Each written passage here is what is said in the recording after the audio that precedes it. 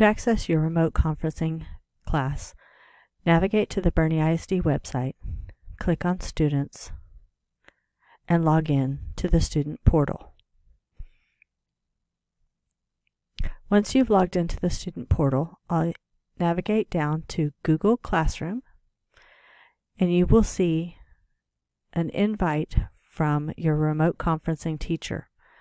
You will need to hit Accept to join the Google Classroom for your remote con conferencing time period. Once you are in the classroom, when the class link is open, you will get a class link right here, and you will just click on it to join the live classroom.